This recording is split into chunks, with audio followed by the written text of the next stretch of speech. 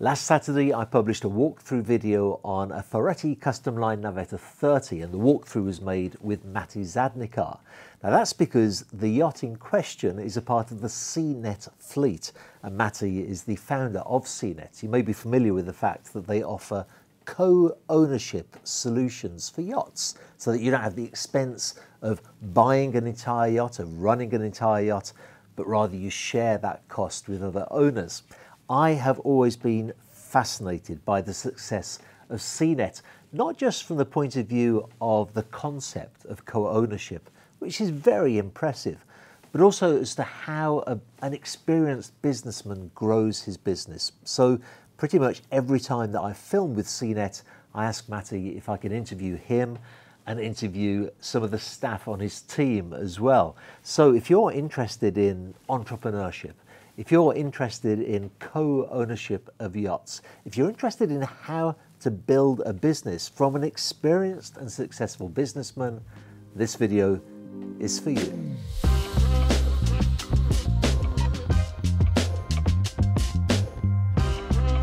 Yesterday we filmed a walkthrough video showing you all the way around this beautiful Navetta 30 with Matty Zadnikar, the founder of SeaNet.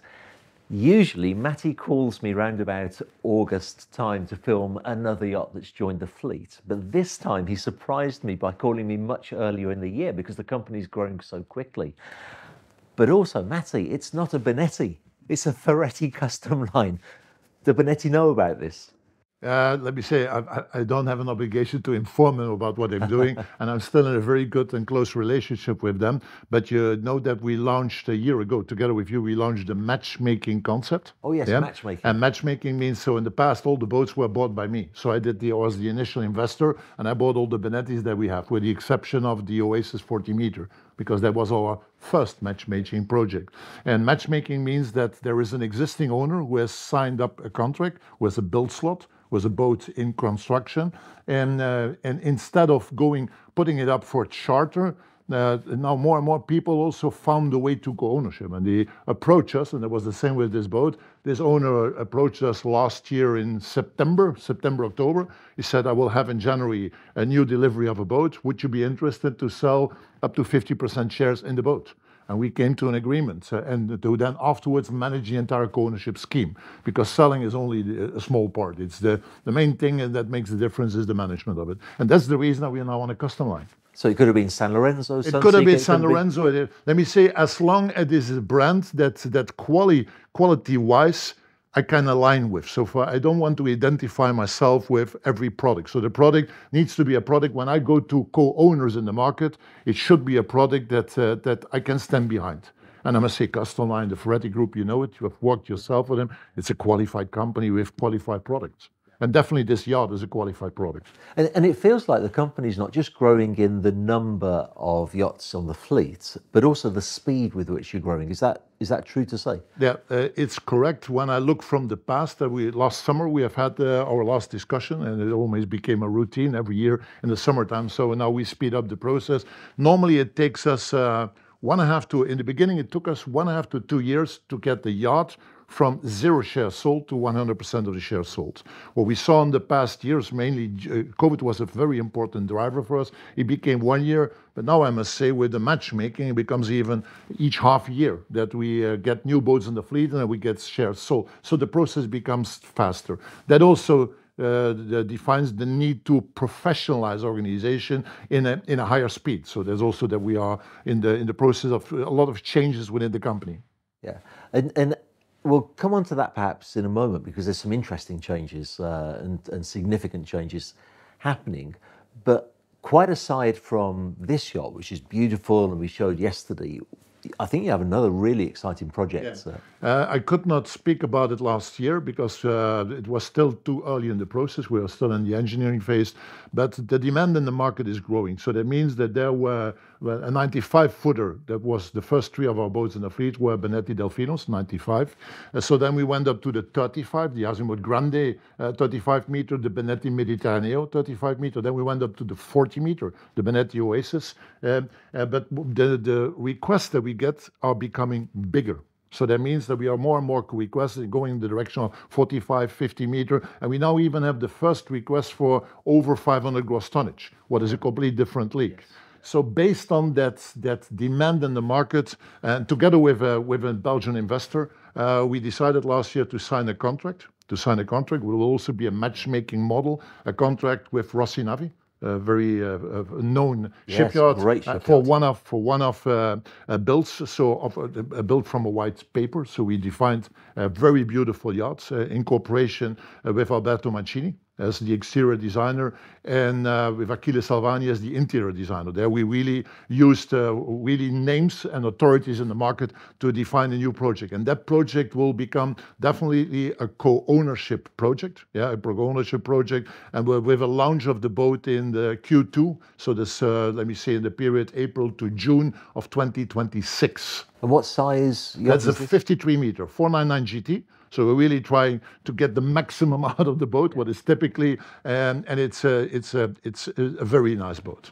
How are you managing the construction of that? Because you already have a big existing fleet, you already have a lot of clients, and a new build project is a big commitment. This is a big commitment. It's also a very dedicated experience. So um, I already have myself a lot of experience from an owner perspective, but in the meantime, also from a technical perspective, but I divided the roles. Uh, and I got a very strong uh, company on board, a very strong partner that I know out of the past, Nicola Nicolai. Oh, so he is supporting me from, let me say, the project management side. I'm taking care of the owner representation the representation side. And we together, we really form a very strong team. And I, I closed with him a strategic alliance. So that means uh, in the future, we in all bigger projects, he will become uh, my main partner to do business with when it comes up to, let me see, the entire build coordination and follow-up. And also, of course, Gianni's back in town. Yeah, Gianni was was in the past my captain uh, already for more than 10 years ago, very experienced guy. Then uh, started with me at the senior Experience, became the operations manager. Then he took a sabbatical because we grew very fast. And let me see the amount of people and also the headaches connected to managing a lot of people became a little bit too much, but he still is a very technical guy. And in that sabbatical, he um, he also did his his master course to become a certified Lloyd's surveyor, so marine surveyor. And now we found back to each other. So he's joining the company again, and he will uh, he will be in support of all new projects. So from a technical point, he works very closely together with Tomislav, our operations manager, because he is still the head of operations in the organization, but he brings then the skill of survey of the technical part and the preparation, and he will also be involved in that project. You know, every time I meet you, every time I listen to you, and you exude this amazing energy uh, when you're talking about SeaNet, when you're talking about other businesses that you've had, are you not worried that um, you could burn out? How are you going to avoid being? I'll tell you why I ask. I remember years ago, funnily enough, with Ferretti, when I worked at Ferretti from 1995 through to, I think, 2006, and Norberto Ferretti told me that Um, at one time, everybody who bought a yacht had to meet him. They all wanted to meet him. Um, but of course, that's not sustainable. You must be in a similar situation where everybody who wants to do business with you wants to do business with Matty Zadnikar. Yeah, let me say that's correct, but it hasn't been my business footprint of the past. So when I look to from the industrial business, I've always been, I'm an entrepreneur. I'm definitely not a manager. So I'm very proud to be an entrepreneur, and I appreciate and value a lot good management skills. Yeah, that don't mean that I can I'm not able to manage it, but it's not the thing that I get very hot from. So it's not my my main DNA. I'm more the tactical, the strategical guy who wants to bring new concepts to market, and that gives me a lot of energy. So, and when I look to my industrial business, uh, so every, it took me mainly three to five years when I launched a new concept to then hand it over to a skilled manager because then the entrepreneurial phase was done. Yes, sure. Yeah, because the concept was there, the market was there, there were clients, and then it was simply, uh, and it sounds easy, it's not so easy, but it was more a copy-paste concept. How can we make that what is already there, that install base? How can we professionalize and how can we let it grow? And then what I then did, I stepped to the next market. I started in Belgium in my industrial business, went to Netherlands, I went to Germany, I went to France, I went to U.K. So I was always the one who was the first, started up, and then handed over to a capable manager. When I now make the comparison to SeaNet, SeaNet took me longer than I expected. So getting the co-ownership idea in the high segment of ultra high net worth individuals, people with really a lot of money who can easily afford a complete yacht why sharing, took me more time than I was expecting. So, but now the company has the size. We are going, definitely we will have by the end of the year 10 boats, and we will pass the number of almost of 100 employees on the payroll. So now the need of management in the basic business and the main business is becoming very important. And that's the reason uh, that uh, Leon, that you know, who was for already for two and a half years my right hand and the COO, I will hand over the CEO-ship to Leon, yeah, and he will further professionalize uh, the organization in, in Europe. And I want to start looking to the Asian market. I want to start looking to the Middle East market again, start exploration and see can we set up business over there? Because I really believe that SeaNet should become, instead of a European concept where we also do double season in the States, for example, in the Bahamas or the Caribbean, but we should become from a European-based company to a global company, having boats all over the world. And that's something that should be my next path. That's the entrepreneurial part again. But that just sounds like more work. For me, it's not work. For me, it's simply um, uh, executing my passion. So I like that. Uh, I must say, being in an office, being working on uh, action plans and being involved in action plan follow-up, that's for me work. Building and creating business together with local clients and stuff like that, for me, it's fun. It's simply fun. So for me, it's a difference. So um, that's something that I want to do future-wise. And you also mentioned to me earlier something that surprised me, which was uh, another addition, important addition to the team. Yeah, let me say an important addition to the team. I have to to make a small nuance when you refer to that. So you have one thing. Leon is running the SeaNet organization as a CEO, and I want to give him uh, carte blanche is a big word. We understand each other very well, but he has the lead on a day-to-day business. I don't want to disturb that Uh, because everybody has his style, and he has to have the ability to change the organization in a professional way. But when I look from a family uh, a portfolio, investment portfolio uh, point of view, SeaNet is a very important part of the investments that we have as a family, as a family office. So I have three kids. So I have my succession completely organized in each one-third of of of the of the the wealth that we as a family build it up. So, and my youngest daughter, she will become my successor from a family investment point of view. So she has started in uh, October of last year. Yeah, she is now more and more shadowing me, and uh, she she will become in the next three, five, six. I I don't want to put a a number on it, but she will more and more uh, be become the face from a family investment portfolio side. So that's how I cope with succession. Operational-wise in the business, it's Leon the day-to-day part, but there's much more than only SeaNet from a family ownership point of view of shares in multiple company and investment. It will be my youngest daughter. And and there is a close cooperation between me, Leon, and my youngest daughter because they have to work together. So let me ask you a quite a direct question on that. And and the question really more to satisfy the cynics that watch that watch the video. Because from a family perspective, I think everybody understands why you would want your daughter involved. But from a business point of view, what makes her qualified to have involvement in a big company like SeaNet? Now, uh, that's uh, that's, that's a good question. And I'm assuming you're not the only one who was asking me that. So in that way, uh, it's, uh, I've worked with my daughter together in my industrial business. I'm working with your children in one-on-one. And for sure, when your, one of your children is a copy-paste of yourself, it's a challenge. It's not easy. It's not an easy job. But she built her track record. So from a commercial internal service to commercial external service to uh, operational management. So she's built already a track record. That's one thing. So I think she is now up for a next challenge.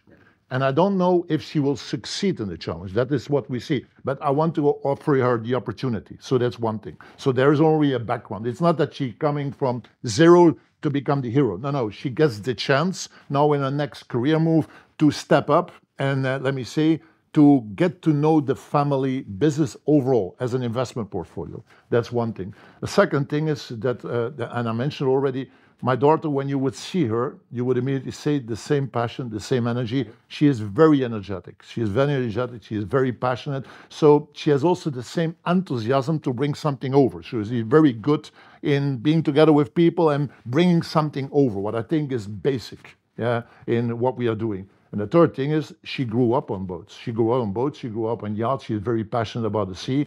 And all our family memories uh, are, are, built around boats, about around yachts. The only thing where she will have to uh, to learn to get to know more is more the technical part. She's never be really been involved in the technical part, and that's something specifically that's linked to me. I like te technical part of the of boating. So that, that's a big advantage that she will have to learn a little bit. But I don't want to make her uh, or to turn her into a, an engineer. That's not needed. But that's but let us say I will. When you ask me the question in three to five years, I can give you an answer. Yes. Maybe it will not work. We will see. But let me say at least I want to try it. Yes, yeah. that makes sense. Yeah. Now, with all the growth, the, the addition of your, your daughter into the company, more yachts, how what's the organization look like going forward?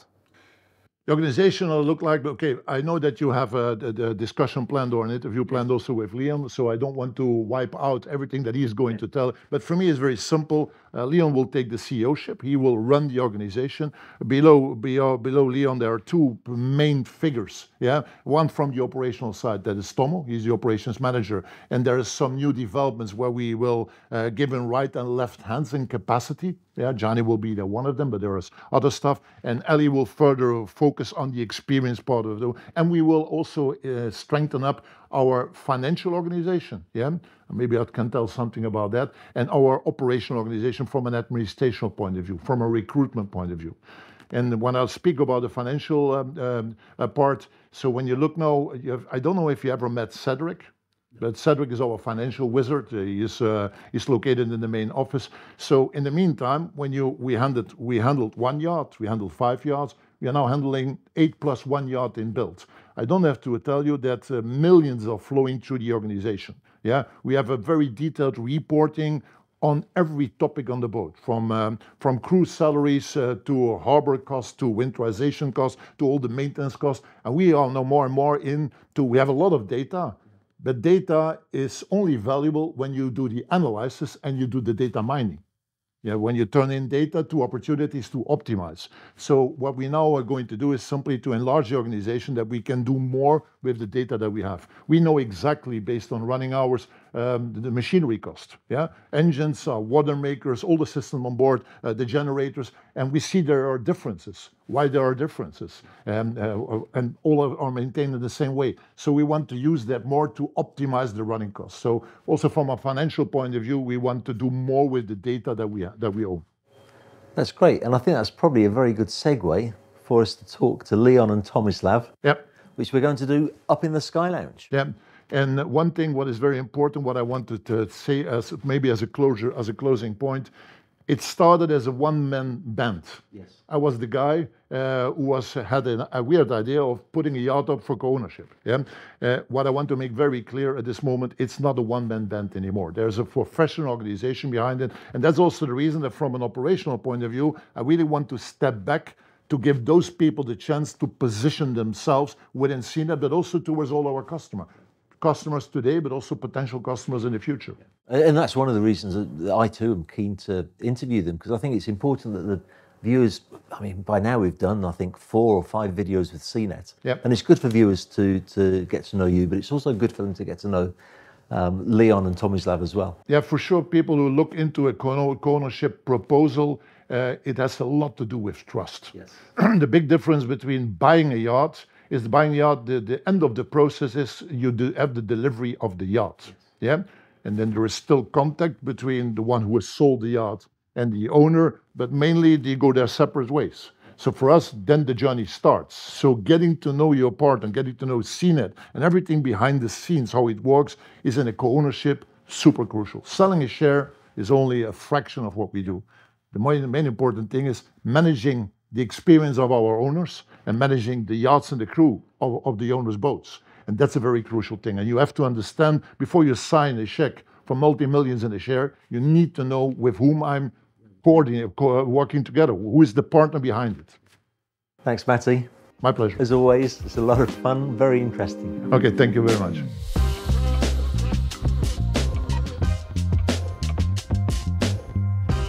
So I've been talking to Matty, as you know, about how the company's growing, but I was struck as well at how quickly it's growing. And when things happen quickly, that puts a lot of weight on your shoulders. I'd like to start with you first, Leon. Can you tell me how you're coping with that, what your role is, and, and what changes you're making?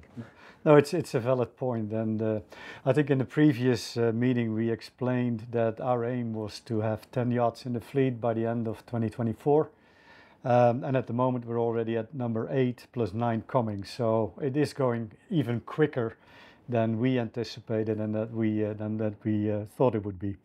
And uh, in order to deal with that, we do need to make some changes in the organization uh, because you know we need to keep up with the demand. We need to provide the service and the level of quality that uh, the owners correctly expect from us. Uh, and we need to build that team and expand that team in order to support those activities. Um, so yeah, there's going to be some changes. Um, uh, we also made some changes in the commercial uh, department. So Raf, who has been with SeaNet since the beginning with Matty, uh, has left our organization since uh, as per the end of January. Uh, and we welcomed um, Alexander Rodriguez as the new sales guy that is going to be responsible for sales business development. So that's that's a part of the uh, the change. Um, and then we also welcomed back Johnny, and I know you remember Johnny. I remember him well. Uh, he used to be our operations manager from the beginning. Um, and he is now back, and he, in the meantime, he is a certified uh, Lloyd's surveyor. Uh, and Tomislav can explain a little bit more about what that means in the cooperation with uh, with with Tomo. But in short, um, we started with one operations manager. We then split the task between more the technical navigational side with Tomislav coming on board and Ellie as the hospitality manager. And now we make another split in the operations uh, side of the business where Johnny is going to come for more special projects uh, that, that Tomislav is going to explain more. So um, it is really about keeping up with that growth and make sure that we are ready for the next step because we want to we want to grow. That we, there's no secret, but we want to control the growth and we want to make sure that we deliver what needs so to be delivered. So, for the benefit of the viewers, um, can you kind of draw me a little uh, imaginary organizational chart? You, are the CEO now of the company, correct, so you're the CEO. Yeah, so that means all the day-to-day uh, operation, including sales and marketing, finance, back office, uh, operations, hospitality management. So really making sure that we deliver the service and, and, and manage the yacht and the fleet and the crew uh, to the level that it uh, that it uh, needs to be managed. Uh, so, so Matty, what's Matty's role? Matty now uh, is becoming the chairman uh, of the company as well as the brand ambassador. We all know Matty's passion for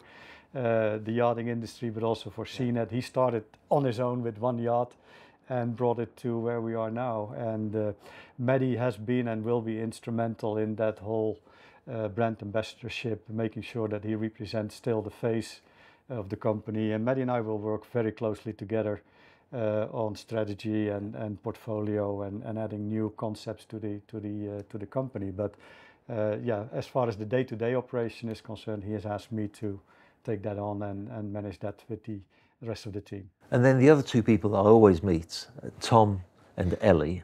Can you remind me their the division of roles? Yeah, yeah. so Tomislav is is uh, responsible for the operational side of the business when it comes down to the uh, the captains, the engineers, the uh, the deckhands. So more the technical side of the fleet, and then Ellie is in charge of all the hospitality. So that means preference list, itineraries, flight concierge service, uh, and also the stew and the chief stew positions and the chef positions. So we try to really make a separation between the more technical navigational side of the business as well as the hospitality and the experience side of the business. And I have to say about Ellie, for the benefit of the viewers, that even though she's got an important role in the company, she's a manage in the management of the company. Mm. We got to the yacht uh, yesterday, and she's got a duster in her oh. hand, and she was polishing, and she was karate chopping the cushions. So she's really hands-on, isn't she? The way I, that she works. I, I, must say, I'm very lucky with the team. I mean, we have a, a, very skilled, highly motivated team that, that is there day and night whenever you need them. And yeah, no one no one is too good to to do any job. And and if it needs, we will wash down the boats if if, if that is required, or we will just do the interior. Yeah, no, it, we're very lucky with uh, with the team. Well, it seems to be the SeaNet culture oh, yeah, to sort absolutely. of roll your sleeves up yeah. and get in and, and, get things done. I think if not, we would not have grown uh, the way we are, and uh, we would not have the future that we uh, that we see. So. And, and Tom, with your role, because you're very similar, you, you you're management, but I've seen that you really get stuck into the nitty gritty, hands on work as well. How are you coping with this rapid growth? Yeah, um, sometimes I wonder myself, uh, how do we all cope? But we, we're doing a great job. I'm really, really happy. Proud to be of uh, part of a team for quite some time now. Um, yes, it is with a with a growing growing fleet. It's becoming more and more challenging, more difficult. But all in all, we're doing we're doing very well, and we uh, recognized in time what do we need to do, how we need to strengthen our team to cope with the growth, but to maintain SeaNet standards, which is crucial for us.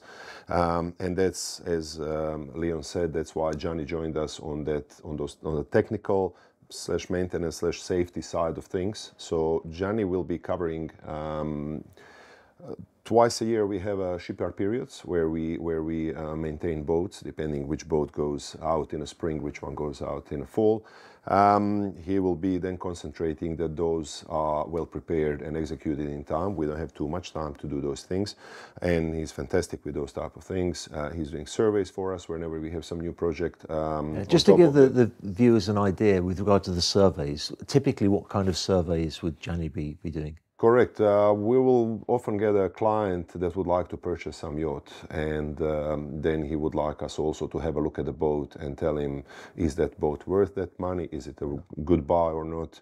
And Johnny then performs those surveys. Uh, he's fantastic in those type of things. Very, very um, thorough and, and uh, really high, high spec uh, surveys. In the meantime, he, he finishes Lloyd's uh, super yacht surveyor um, course, became certified Lloyd's uh, surveyor.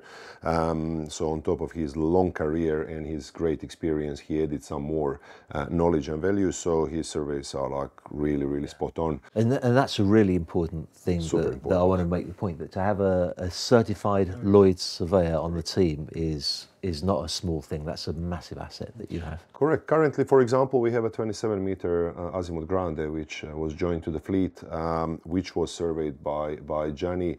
Uh, when owner came back to us and he decided to buy a boat, he came back to us with a list of um, a list of upgrades he would like to do. We immediately knew what, where, how, what are the issues, and uh, and the team that's working on that boat has been uh, doing great job in rectifying all those issues and doing upgrades as well. So it really helps that we a strong team in house.